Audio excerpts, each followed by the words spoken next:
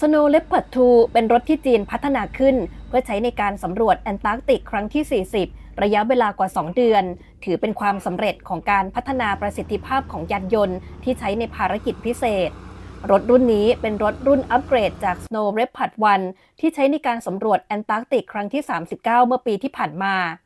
รถออกจากสถานีจงซานในทวีปแอนตาร์กติกาเมื่อกลางเดือนธันวาคมปีที่แล้ว และเพิ่งมาถึงสถานีไถชาน และสถานีกุนลุนในช่วงไม่กี่วันที่ผ่านมา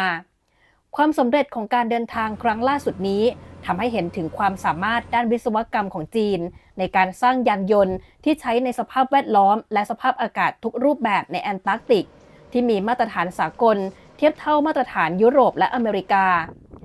รถ Snow Leopard 2 ได้รับการพัฒนาร่วมกัน โดยมหาวิทยาลัยชิงหัว ร่วมกับสถาบันวิจัยขั้วโลกของจีน และหน่วยงานอื่น ๆ สามารถใช้งานในหลายสภาพการ เช่นพื้นถนนที่มีหิมะแข็ง หิมะนุ่ม หรือเป็นน้ำแข็ง นอกจากนี้ยังสามารถปรับเปลี่ยนฟังก์ชันการใช้งานตามภารกิจของหน่วยงาน เช่น การสำรวจทางวิทยาศาสตร์ ภารกิจของศูนย์บัญชาการภาคพื้นดินและทางอากาศ และหน่วยกู้ภัยทางการแพทย์ฉุกเฉิน ขึ้นอยู่กับความต้องการตามสถานการณ์ต่าง ๆ